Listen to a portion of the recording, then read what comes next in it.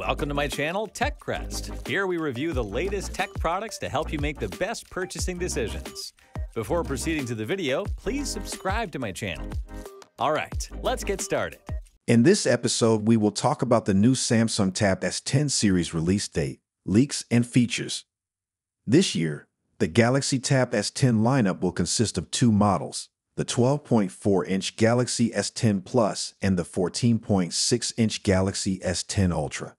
Analysts believe that this is a response to Apple increasing its market share with the 13-inch iPad Air, since it seems that customers are becoming more interested in these larger tablets.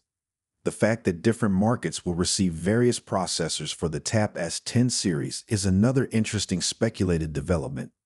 For places like the US, we would anticipate Samsung to employ a Snapdragon chipset, but in other markets, the Galaxy Tab S10 versions may come with a MediaTek processor, a first for a high-end Samsung tablet.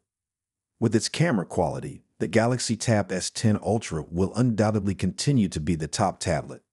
There is no doubt that it will have a dual rear camera, just like the Galaxy Tab S9 Ultra, as several recent leaks have confirmed.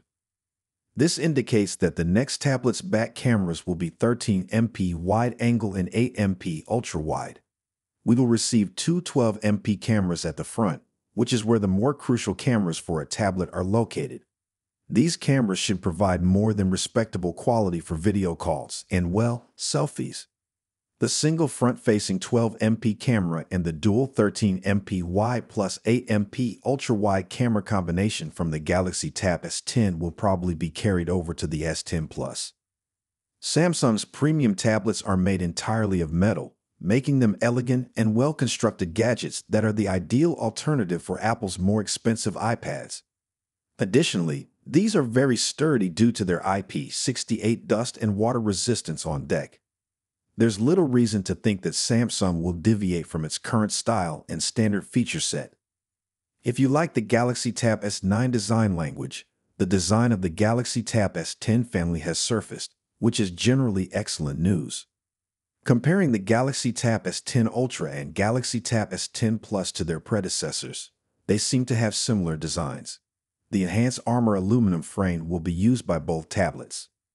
The Galaxy Tab S10 Plus and Tab S10 Ultra will likely hit shelves on October 4, though some markets may see an earlier launch on September 26.